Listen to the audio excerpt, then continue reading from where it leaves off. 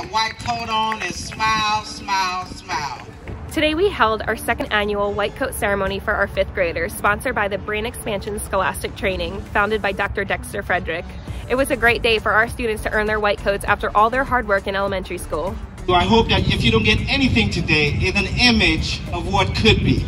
I'm so excited to see where our fifth graders are going to continue on to, whether that be Sligh Middle Magnet, continuing their passions and journey into the medical field, or maybe they just want to become a veterinarian or a teacher. I just can't wait to see all the great things that they do. You are the ones that are going to take this city to the next level of greatness. I'm excited about today is that I can be a veterinarian to help save animals and I'm looking forward to help people, help people and animals. It brings me so much joy to see our students earn their white coats today. They've worked so hard for this and we can't wait to see all the great things that they're going to do. We believe in you and we cannot wait to see how you make our world and our community a better place.